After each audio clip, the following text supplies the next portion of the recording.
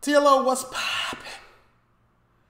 We are on Twitch. We are not live, but you can leave a like, comment, subscribe, turn on your post notification bells, man. Let's continue to grow the family from Chicago to the UK. Um, I do not glorify, sensationalize, or condone any of the facts and stories told. I am here simply to educate myself, others, in the history and the current state of issues around the world. Following presentation is intended, may be intended for mature audiences. It contains graphic descriptions of crime scenes and adult dialogue and strong language. Viewer discretion is advised. Just want to put that out there before we get into it. You know, when we on socially criminal, you know what time it is, man. W channel, one of the best channels, man. Only thing socially criminal. If you ever see me, please, y'all should put uh UK gang documentaries on here too, or make another channel for them. I don't know how you're able to post these, but so um, don't forget we are partnered with the Respect My Blueprint podcast, man, and Blueprint Breakdown. Um, this is the channel. These are the videos, and this is the group one right here. Um, there should be another one coming out soon. Um, link link to this one is down in the description though. And if you're looking for any of my old content, it is over here. Remember, you see this in the corner under me. No, you don't. Let me move. Let me move. Let me move. Let me show you. It's popping over here. 850 other people reacted to your reel. Come on now. Hey, I salute. I salute it. You know what's crazy, man, about social media? So I got so you guys here on YouTube, y'all won't go to other places. Like some of y'all will, but most of y'all won't go to TikTok. Y'all won't go on Instagram. Y'all just stay strictly on YouTube. And I'm just really now getting it. I get it why y'all don't be like going other places. So to combat that, what I've done, right? On TikTok, I do a completely different thing than I do on YouTube. So people on TikTok don't really know I have a YouTube. Like it's crazy. Like people, like nobody know. Each each one of these platforms, I'll be doing something different. That's that's the point I'm trying to say. Anyway, battered, stabbed, and starved UK crime documentary. Let's get into this one. This looks suspicious. I already liked. I'm already subbed. Don't forget if you're watching this video in the in the premiere, man, you're a first responder. And I appreciate y'all for being here in this premiere because you can't skip, you can't fast forward, you can't do none of that. So hit the like button, man. Show some love, man. My goal for this video, 150 likes, man. That's light for y'all. That's light. That's I'm talking overall. First responders, y'all get it how y'all live. I know y'all gonna show the love and support that y'all supposed to because y'all just being here is in the premiere is lit. this time, 35 years on, and still Britain's biggest unsolved missing person inquiry. There's still no sign of the London estate agent Susanna Lamplugh. Susanna left her office in Fulham in West London at 12.40 on Monday. Susie Lamplugh. Her car was found abandoned at 12... I feel like, okay, I know this is serious, I know, but I've seen this in phone jackers. Like this story. 12.40 on Monday. Susie Lamplugh. Her car was found abandoned and unlocked in a street near the River Thames. The prime suspect, who's not what he seems financially and career wise, I've achieved what I've wanted to achieve. This is someone who's literally pretending to be another person. So, this charm and intellect seems superficial. He's faking it. I'm just now looking for what the next thing to achieve. But he's kind of overshooting it a bit here. And I see that a lot with psychopathic personalities. And later, the other side of domestic abuse. She's trying to project a gentle, meek, mild, vulnerable individual when the truth is she's an aggressive. I can tell that's already going to make me mad, this one. a lot of that goes on. Violent. On, like. if I sat there and watched the whole preview.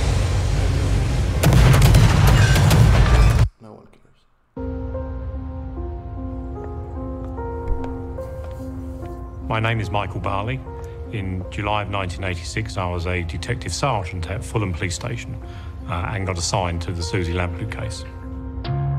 28th of July, 1986.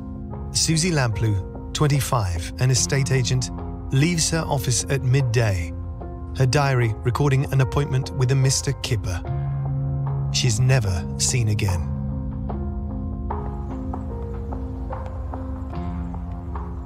Susie's Fiesta was parked here, but just over the entrance to this, this garage. It was almost obstructing the entrance. The boot of the car was about here. And, and it's parked facing that way. But the, the driver's door was unlocked, and so there was a hat on the back parcel shelf. The handbrake was off, and you could see in the driver's door pocket that there was something which turned out to be her purse. Those sorts of things just thought, this isn't right. So she got snatched out the car? With a hundred officers assigned to the case and an. In- oh man, don't forget we do have Patreon. Man, hold on. Dang. Investigation that spread from London to the continent. The hunt for Susie dominated the news for months. The vivacious young estate agent is. Sorry, Susie. This is my fault. I should have did this in the beginning. I, it just skipped my mind. Um, My bad, y'all.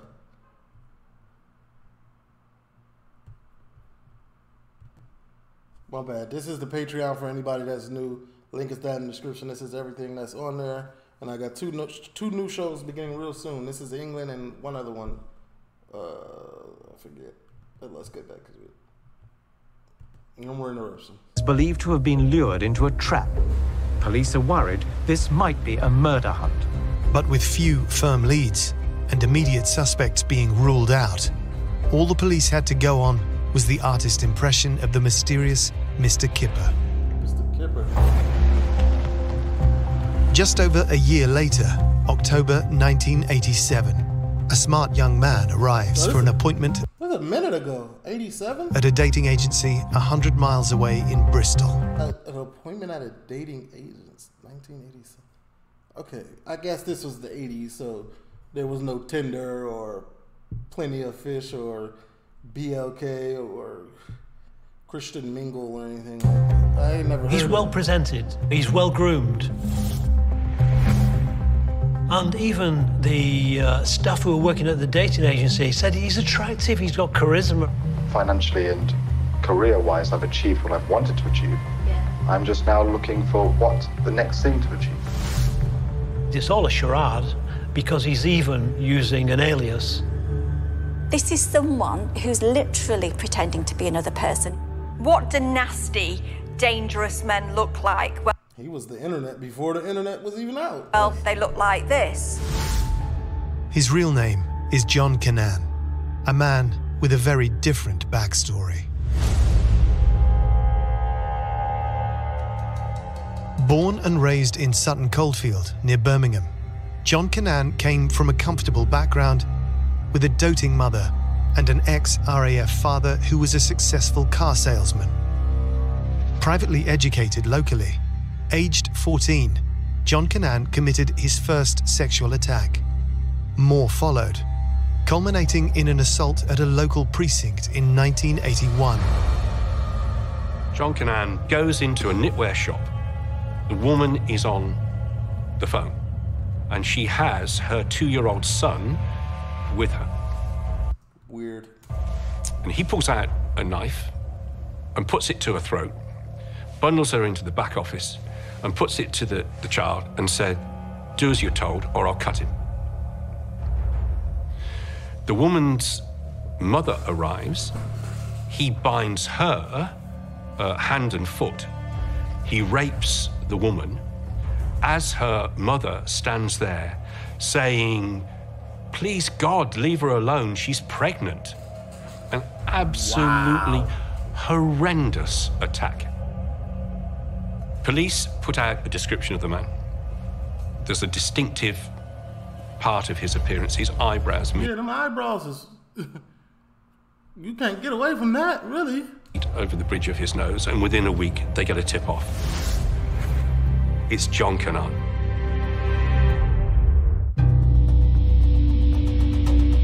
John Cannan was jailed for rape. After spending five years in prison, he moved to Bristol. Not enough time. And enrolled at a dating agency under a false name. John Cannan crops up as John Peterson. So not only has he got a brand new name, for the purposes of attracting a whole new raft of women, but he's got a whole new history and a whole new personality to go with it. Now, if you join up to a dating agency with a name that's not your own, you're not planning on having a long term relationship, are you? Financially and career wise, I've achieved what I've wanted to achieve. So he's a Bristol businessman and he's made his fortune, so he's ready to settle down, spend his time with the right woman. Now, do you admire any famous people after President? Yes, I've admired a few. Um, people like Gandhi. I knew he was gonna say something like this. Gandhi, God, Malcolm X. Philosophers like Bertrand Russell. Uh, present day people like Prince Charles, who's socially aware. But he's kind of overshooting it a bit here. And I see that a lot with psychopathic personalities. He doesn't seem to realise when he takes it too far. But also, classically, he gets words wrong. He's he's not actually that good with English, and he loves big words and quite often misuses them. I'm just looking now. I'm in a sedimentary period Yeah. where financially and career wise, I've achieved what I've wanted to achieve. I'm going through a bit of a, a sedimentary period. Sedimentary is a, a geological process by which rocks were formed Right. What, what are we talking about? 3.9 billion years ago or so. He might have meant sedentary, but all that means is that you that you sit down a lot. He probably wasn't trying to convey that impression either. He just gets it completely wrong. I'm just looking now. I'm in a sedimentary period. Now, we call this a malapropism because he's using the wrong choice. If you're in college or you work a nine to five and it's not what you want, it's not making you happy, I seen that. Um, there's a movie on Netflix where this guy did the same thing, and it was like the Onion Dome. They, he took them to the office, and they had to solve the murder of himself, and somebody was actually trying to take him out, and, and he was saying the wrong words, playing the role of a, somebody smart.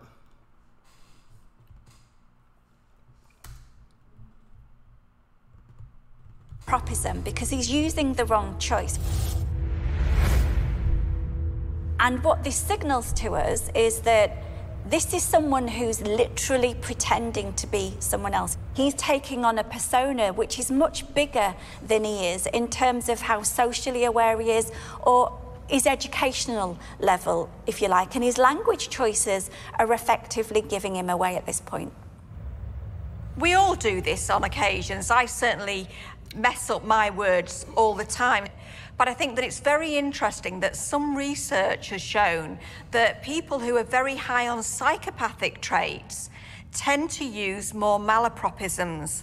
And that's because their brain is taxed when they're talking about subjects that they can't emotionally connect to.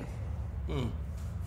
When we saw the video from the dating agency, my initial reaction was this is a man, this is a convicted criminal, a rapist, but he's trying to portray himself as a businessman who has been amazingly successful. Yeah, he's trying to be alluring. He's trying to tell them what they want to hear, basically. He capping. It's bad cap because of who he really is. It would be good cap if he wasn't really like, you know, if he didn't have that history, but but right now it's terrible. um, that he, he's financially stable, that he's achieved everything he wants to achieve. These were clearly lies. In the world you'd like to live in? Switzerland. But the interview wants to know more. And why, why would that be? It's just a beautiful country. Mm-hmm. It's clean. It's precise. Um, And it's, in, it's the great and driving it, distance it's just. everything. Well, yes, that's right. And what we see is a micro expression, which is a combination of contempt and immediately after, fear. Contempt is a unilateral expression, it happens on one side of the face. And one corner of the lip will move up to the center of the cheek, activated by what we call a buccinator muscle in the cheek. And that cheek dimpler action is a sign of contemptuous judgment. So why would he feel contempt? Maybe because he's being quizzed on a place he doesn't know too much about. Mm. It's just a beautiful country. Mm-hmm. It's clean, it's precise. I ain't never heard somebody describe a place as precise. That's clearly he don't know what he does. Um, so if you look at his eyes, they've widened. We see the white around the eye. If you look at the eyelids, they're stretched vertically with the top lid high, the bottom lid low. Now, when the mouth moves sideways at the same time, like we're seeing here, activated by the risorius muscle connected to the lip corners and the cheekbone, we know beyond reasonable doubt he is experiencing fear. So this charm and intellect seems superficial. He's faking it. Two days after this interview, Cannan reverted to type with a vengeance. He tried to kidnap a woman near the Bristol waterfront, but her screams forced him to run away. But the next day was a different story. Shirley Banks has been married for six weeks. She and her husband, Richard, they have arranged a date night.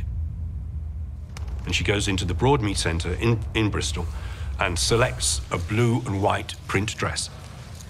She makes her way back to her car. A man. I wonder what this kind of face says when they show the dress. Mid. Attacks her and gets into the car with her. She goes missing. Three weeks later, more than 100 miles away in Leamington Spa, police arrest a man after he uses a knife to threaten a shop assistant. His name John Cannan. He was brazen too. He was like broad daylight with this, like you know what I'm saying. Like with, with not maybe sometimes not broad daylight, but people were definitely around, and this is possibly visible. And they rapidly find his car, and there are handcuffs, a replica gun, and absolutely crucially, a tax disc from Shirley Banks's orange Mini. But when police traced that orange Mini, it looked very different. Well, John Cannan had taken that into his garage, resprayed it, and changed the number plate. And he changed the number plate from HWL 507N to SLP 386S. He chose those letters, and he chose them in that order. The obvious significance is SLP stood for Susie Lamplugh.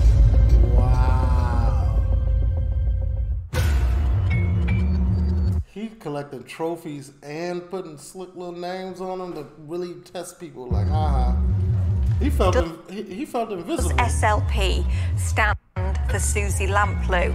The only person that can possibly tell us is, of course, John Cannan.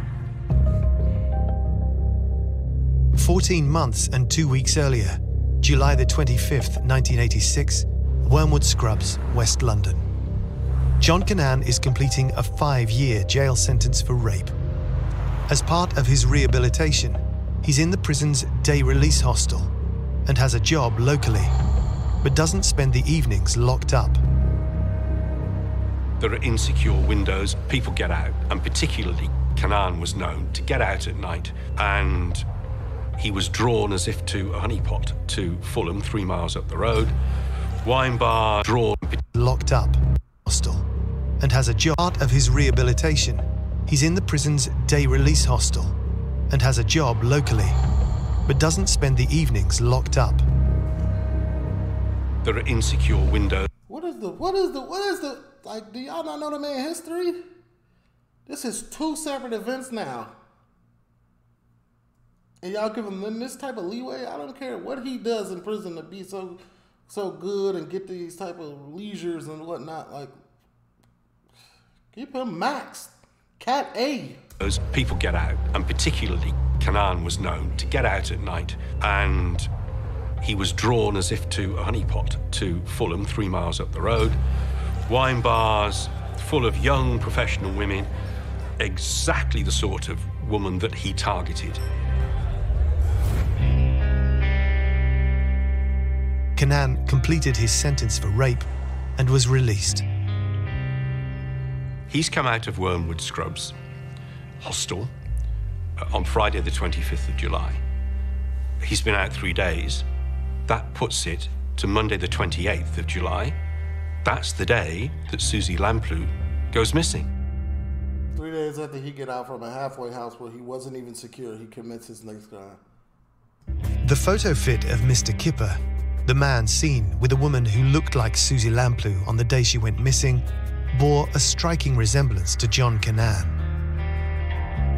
After he was jailed for life for the murder of Shirley Banks in Bristol and other violent sexual attacks, officers investigating the Susie Lamplugh case questioned John Cannan in prison. They believed the changed car number plate meant an even stronger link to Susie Lamplugh. At least they finally got it right at one point. Life. Life sentence. Without parole. He said about the car that the car belonged to a Bristol businessman and that he was the man who was responsible for the murder of Susie Lamplugh. And I said to him, Is that man you, John?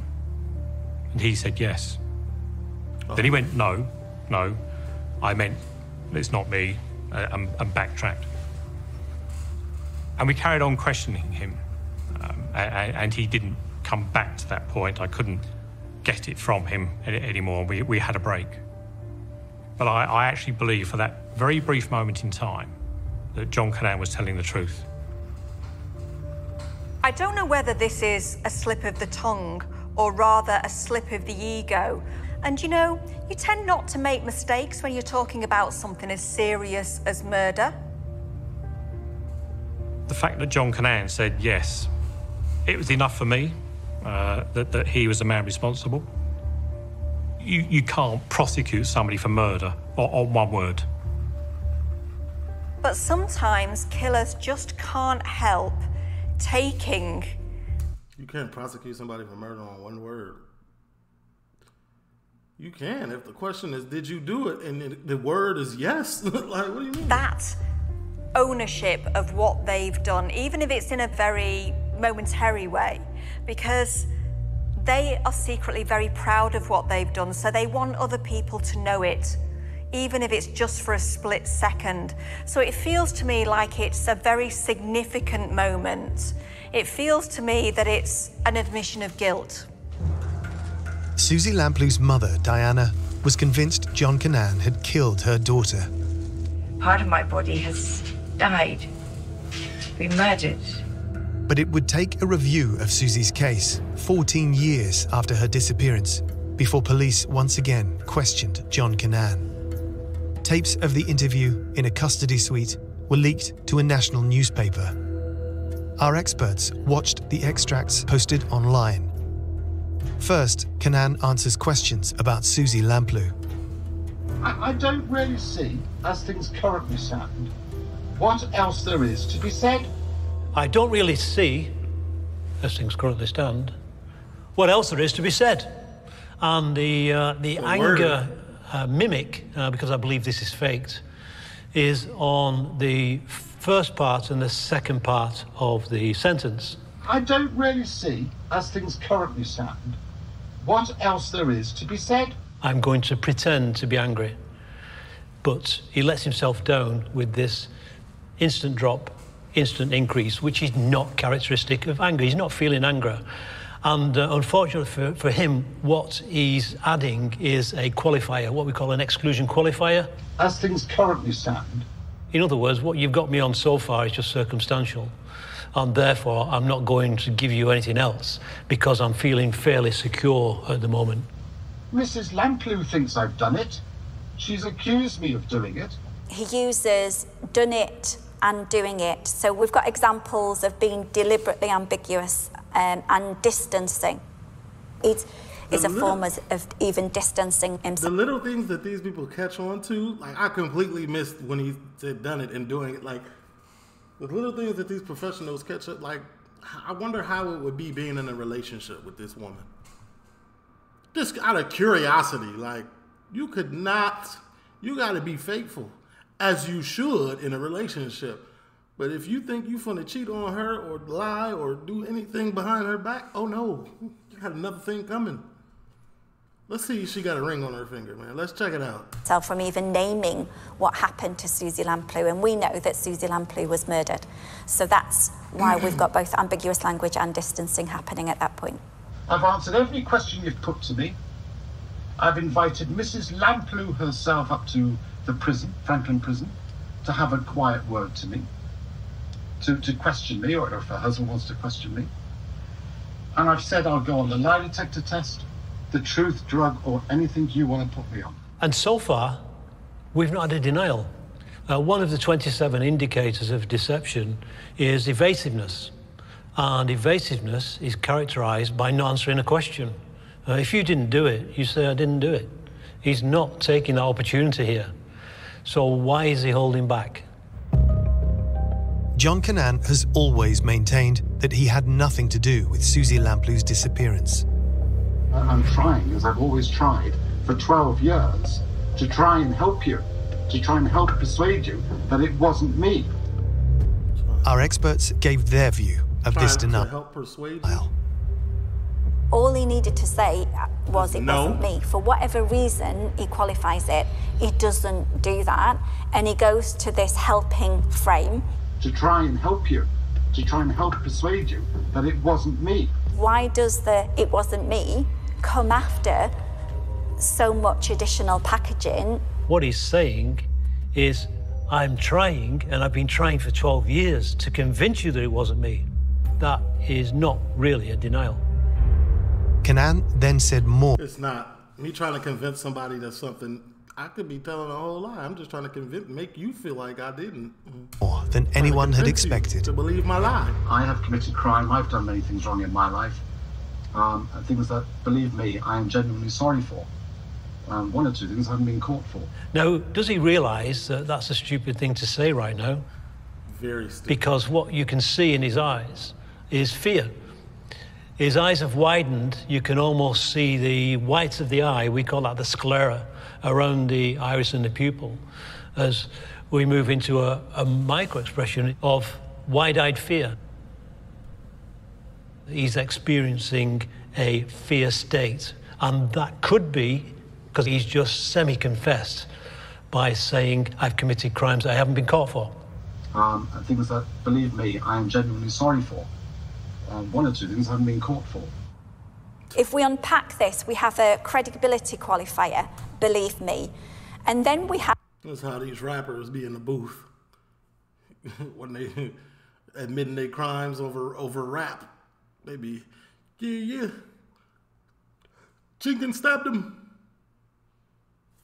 have interesting language choices. So, genuinely sorry for uh, relates to many crimes, but not all crimes. So that suggests to me that there are some crimes that he's, he's actually admitting to us on camera that he's not genuinely sorry for. So if he was genuinely sorry for all of his crimes, got a ring on. why isn't he in that police station right now telling us about those other crimes? One or two things I haven't been caught for. Well, part of the reason is he's a criminal and he wants you to do his job. You know, criminality is a game of cat and mouse. You know what I'm saying? Cat being police, mouse being criminals. He knows he's holding information back, and there's fear Gonna make- attached. Make, you work for it. He's already locked up for life, ain't he? So why would there be any fear attached? He's just gonna make it hard for you. All. withholding that information back. So this isn't about him easing his conscience at all. This is about him maintaining things that the police haven't yet found out. One or two things I haven't been caught for. It's an odd thing to say, isn't it? But I think he's trying to bargain with the police. What he's trying to say is, look, I have done terrible things that I've been not caught for, but this isn't one of them. So he's trying to deflect attention away from Susie Lamplugh's murder and look like he's actually giving a bit of useful information to the police, look like he's trying to be honest. But actually, all he's trying to do is serve his own needs. Cannan then criticised the police, claiming they had planted stories in the newspapers, blaming him for Susie Lamplugh's murder. What you've done. The press gonna be the press, man. The press make their own story. Is a damn sight more serious than you will ever know. Because you are affecting um, my own position, my own legal position, and you're affecting, quite frankly, my case. I'll be honest with you.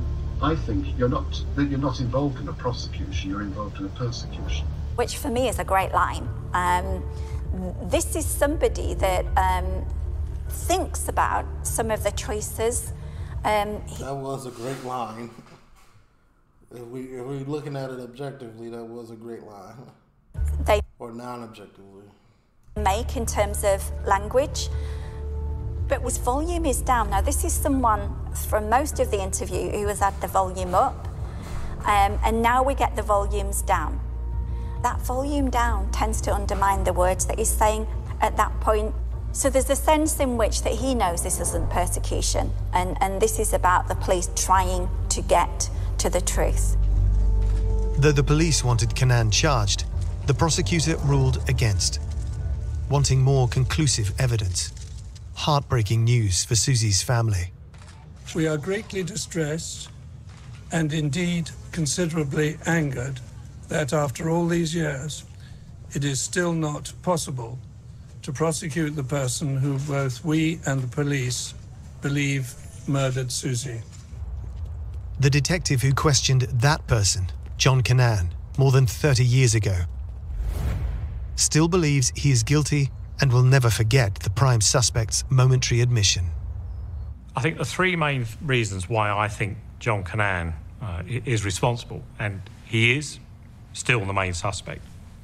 Uh, one, he couldn't account for his movements uh, on the 28th of July, satisfactory to us.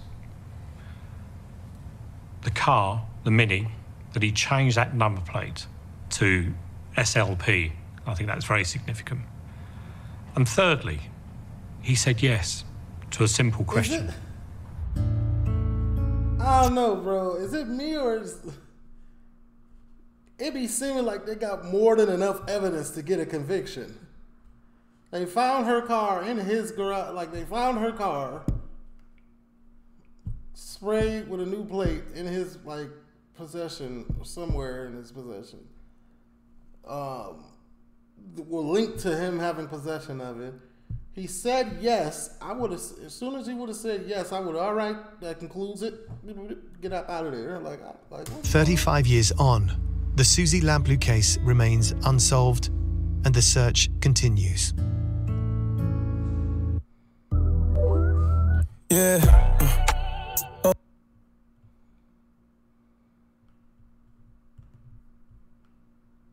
My 25 years of, of policing, this one sticks with me.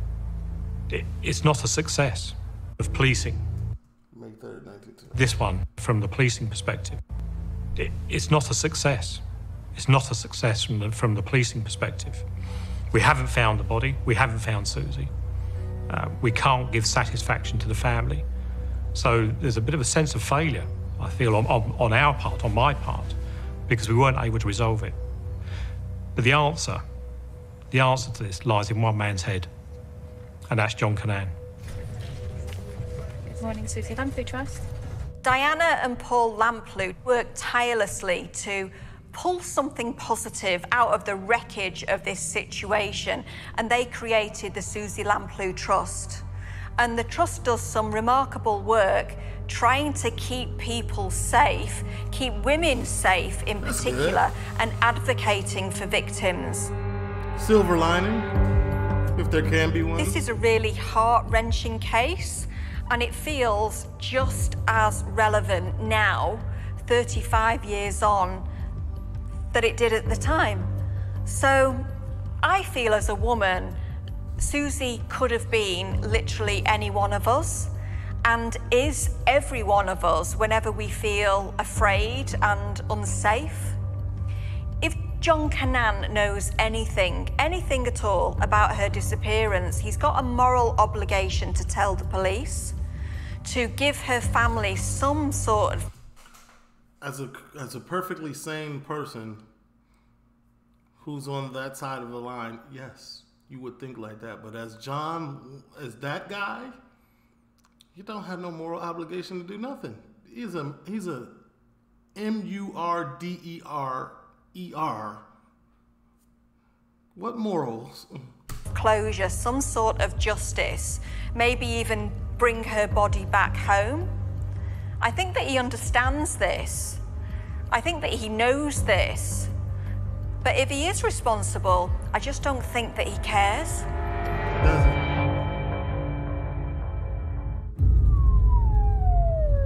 10th of June 2017. A 21-year-old man is rushed to the A&E unit. It's a different story. At Bedford Hospital. His name, Alex Skeel. He was found to have second and third degree burns over a number of areas of his um, body. He had stab wounds, scarring, scalding burn marks. Alex tells police the person who's attacked him is his 22-year-old girlfriend, Jordan Worth. Where's Alex? Jordan Worth presents herself as a meek and mild, almost uh, innocent uh, person here, where she's trying to project a gentle, meek, mild, vulnerable individual, when the truth is she's an aggressive, violent abuser of her partner. Just want to sort everything out. Start again. Yeah. At the surface level, you would think, well, how could she possibly be carrying out this type of abuse against Alex? She went to university, she's got a couple of children, seen from a well mannered background. Well, how possibly could a woman like this be carrying out domestic abuse against a man? It just doesn't seem possible or plausible. And that that's the that's the that's what the, that's what women like this be hiding behind. The thought of, oh man, nobody's gonna think this is possible. Look at look at how my life is set up. Nah, bro. Could happen to anybody. This, this could be anybody. Jordan Worth and Alex Skeel had met as teenagers. Jordan Worth was a uh, student who had achieved a degree in fine arts. She had done a large amount of charity work. The couple seemed happy, but the smiles masked the truth. The situation was very different behind closed doors. One of the key features of domestic violence is the Jekyll and Hyde thing. Facing police questions, Jordan Worth tried to give a very different version of events. She was to say to officers uh, that she herself had been the subject um, of violence at the hands of Alex. Um, she did admit um, in due course that she struck him, but she effectively uh, was seeking to downplay the matter to police. Where's Alex? Just want to sort everything out. Start again. Yeah. She's leaning on the table. Uh, she's got her head cowered, her shoulders are rolled in. She's trying to create uh, vulnerability in the eyes of the, of the police. Start again. Yeah. Yeah. And she closes off this statement. Do you think she's actively trying to do that? Or it's just something that's coming natural to her? Like the body's instinct is to do that for her? with some Jekyll and Hyde behavior. What we see here is with the left hand, she grooms the side of her face and uh, takes the hair behind her ear in almost like a, a vulnerable pose. But look at her right hand. You've got the fist firmly clenched on the table. How old are you? 22, now it's 21. What you were doing? I was holding a knife. And if you notice the rotation of uh, wrist here, she's clearly mimicking pointing the knife forward. But maybe realizing how aggressive this might look, she very quickly softens it off and turns it back and places her hand on the desk here. So she's reliving the moment, but hang on a minute, this is looking too bad, I'll soften off and bring back to the table. There's someone who's into coming house. So she's trying to describe a vicious attack with a knife in a light-hearted way, and we are... I guarantee you she's an only child, too. Have a gentle, social smile on her face, almost trying to take the emphasis away from what was a vicious attack. I was holding a knife. There's someone who's into coming house. There's laughter when she says the house, and the volume drops.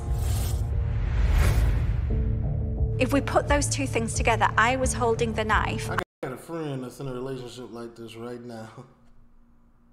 I just wanted him to come in the house means that her motivation, according to Worth, for holding the knife was to get Alex to come in. So, one of the first questions we'd want to ask is why does she need a knife in order to get Alex to come in the house? Tell me about the knife. Oh, it was a big one uh, from the kitchen. I think it was a bread knife. I'm not actually sure. It's at this point we see an increase in hesitation and pauses, which is a sign um, of stress potentially. It's also indicative of deception in some cases. Tell me about the knife. Oh, it was a big one uh, from the kitchen. I think it was a bread knife. And it was a big one. So we can assume she chose a big one from the ki- uh, kitchen and she thinks it's a bread knife. So, in, in spite I'm gonna keep it a buck with y'all right now. I'm gonna keep it real. I don't even know the difference between kitchen knives. All I know is butter knife and knife. That's it. of her demeanour, in spite of how she says this, that's quite a menacing thing to do. She's asked, So, how, how far do you think the knife went in? so now we know it's menacing. Um, it's a it's a loaded question. I don't think it went that far, but it did. There was a lot of blood. There was a lot of blood. She's admitting she's caused Alex harm, but she isn't telling us she's attacked him. She's telling us she was holding the knife that then ended up in him, and then it, it didn't go in that far. Notice she doesn't say she didn't put it in that far. She then contradicts herself, of course, because she tells us there was a lot of blood. So it would suggest it went in far enough to cause quite a serious injury. Jordan Worth seems quite compliant in her police interviews. She's trying to show that She really does. Like she's being cooperative. she's sitting forward, she's paying attention, and she's answering the questions. Look, if you're ambitious, you're young, you want to make money, She's trying to seem overly helpful. She's trying to use that uh that privilege. There's multiple privileges she could be using, but right now she's using the one that is, you know, indicative of the situation. Big word. But what I find quite disturbing is the fact that even though she wants to minimize what she's done to Alex, she's actually quite matter of fact. She seems to have lost all sense of perspective that this is absolutely inappropriate, unacceptable behaviour. It shows what has become the norm for them in their household. Pretty soon after their relationship started, she began to control um, and suggest what he wore. She wanted him to wear clothes that were made by Jack Wills because it was the same initials as her name. As it progressed, she would um, effectively end up taking over his Facebook profile um, and shutting down his contacts. Also, Yeah, my boy is in the same type of relationship. I don't know if it's getting better, but they probably watching. Hey, you got him hemmed up. Let him loose. Jordan Worth insisted on the colour of Alex's clothing and forbid him from wearing anything in grey. Domestic abuse is very insidious. It's a drip, drip, drip of behaviours. And those first behaviours, Jordan Worth telling Alex that he doesn't really suit some colours, so he should wear another colour instead, they, they seem to be almost caring. A lot of them are packaged as romance. Well, I only get possessive because I really, really It's like a backwards compliment. We love you. It's a whole pattern of behaviours, a whole raft of different behaviours designed to manipulate a victim and make that victim dependent on somebody. And they think, well, yes, because this person loves me so much, don't they, that this must be right. And then they try and alter their behaviour to try and avoid there being any unpleasant consequences in the future. Now, of course, they, they find that they can't avoid unpleasant consequences, and so they feel helpless, they feel trapped, and they feel stuck in this situation that they just can't get out of.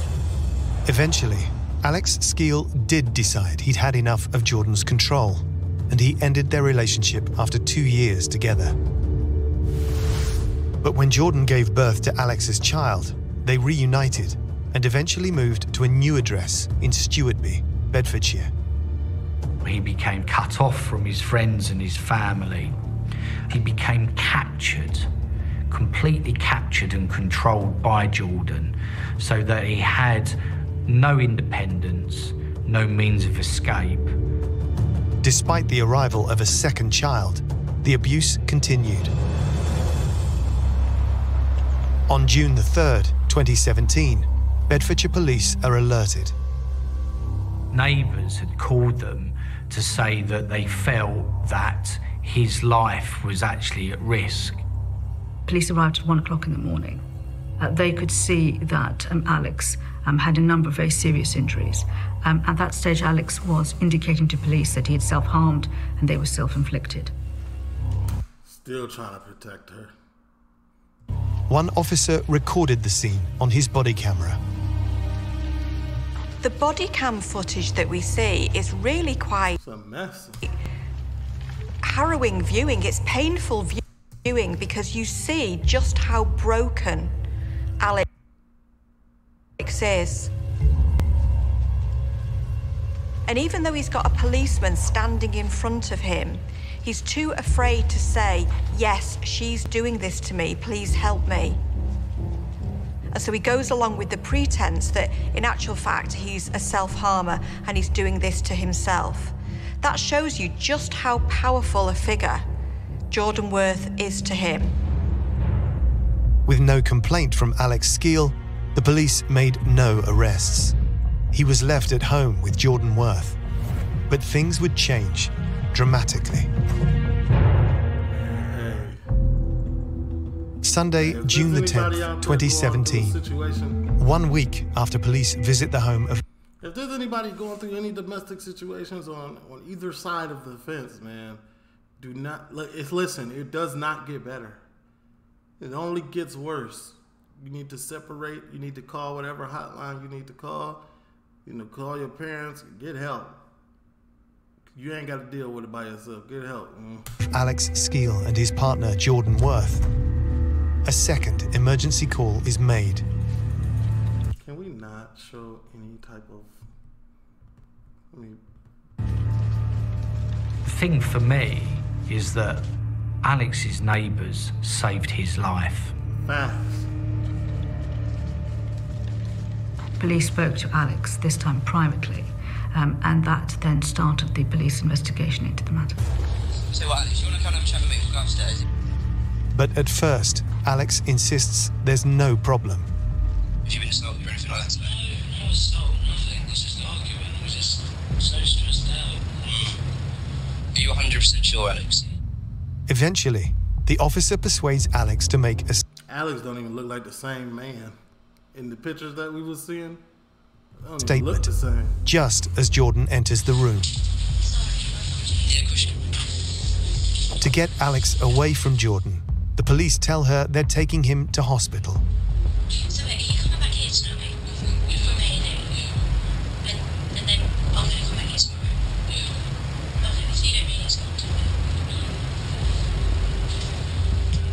you know where each other are?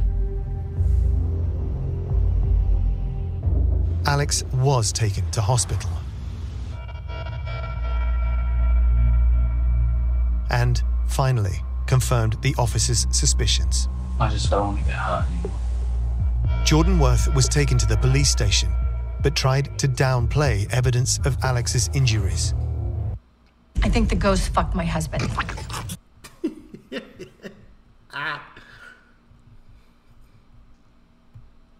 About this hairbrush. of Alex's injuries.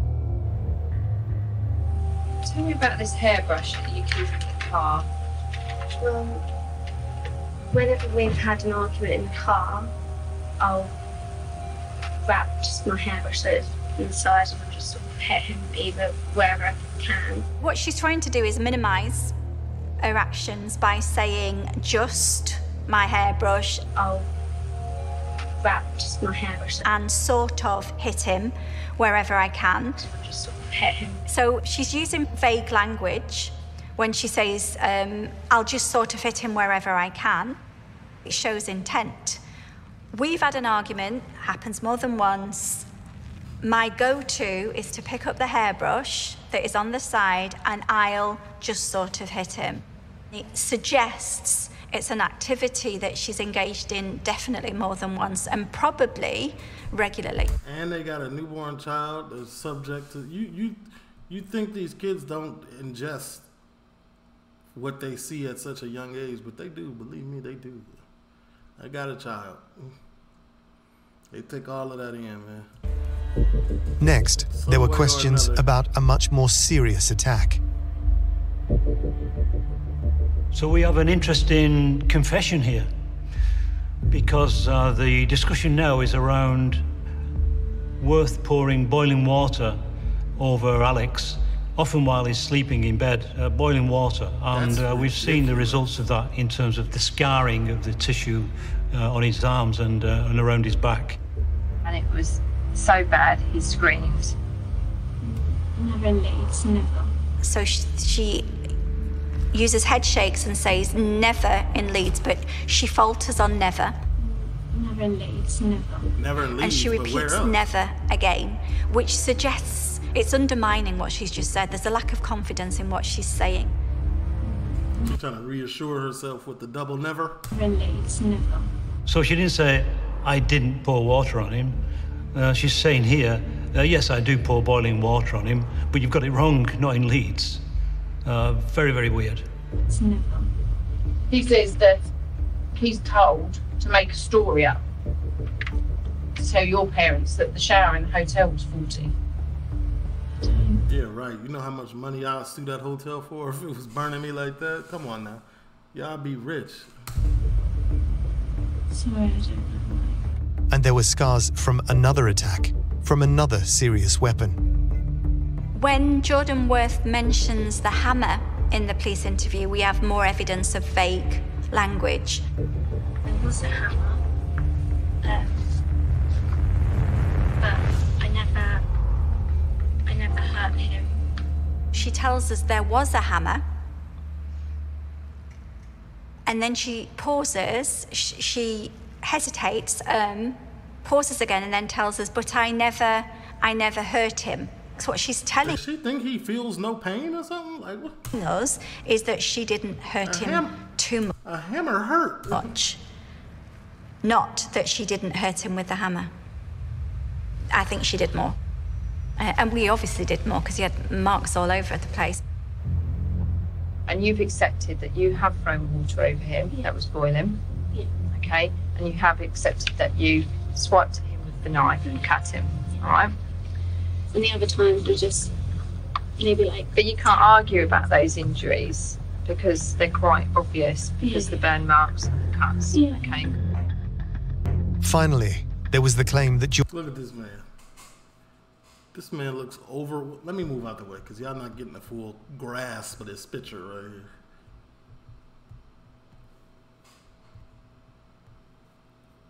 Look at this man. This man looks so peaceful in a hospital bed or wherever he is at. He looks peaceful right now.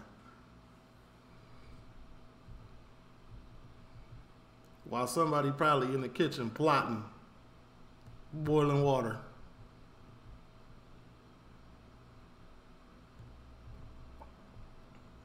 Stuff. Jordan had stopped Alex from seeing his parents. Alex seems relieved that he's now going home back to his family. He That man gonna have PTSD forever. He feels he's been isolated from He always said he just didn't want to see his family. Isolating a victim from their friends and family is very, very common amongst domestic abusers because they don't want to be found out. They don't want their partner to have the support network to be able to go to and potentially leave them. He states that majority of the contact with his family has been stopped because you. You hear that? I'm gonna send this to you. You hear that? Stopped him having contact. Hmm.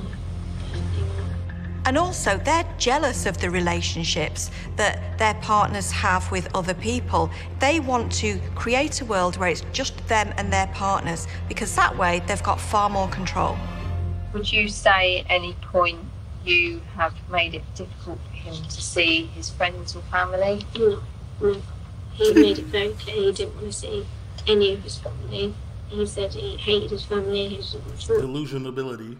I made that word up. I don't know if that's real. Delusional. to his family. He wants nothing to his family. At the root of this appears to be morbid jealousy. And what I mean by that is not just the green eyed monster, but a real pathological fear that somebody is going to come in and take her man. That's the paradox of domestic abuse.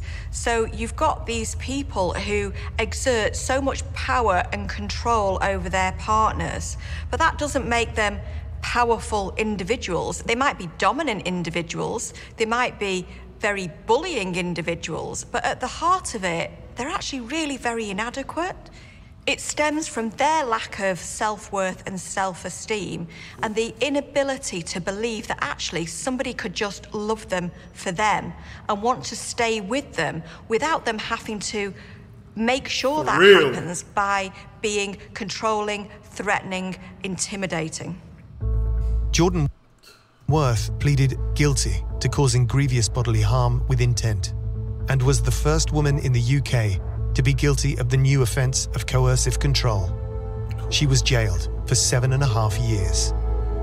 Not all As, as she should be. domestic abuse involves physical violence, and so coercive control has now been made into an offence to recognise that. It might involve threats, it might involve intimidation. In this case, it involved isolating Alex from his family, taking his wallet away from him, not allowing him to go to work, not allowing him to sleep in the bed, not even allowing him to eat when he needed to eat. So all of this has an accumulative. This Alex, this is not the same dude that we saw when the police came. effect of making him feel helpless, hopeless, and utterly, utterly dependent.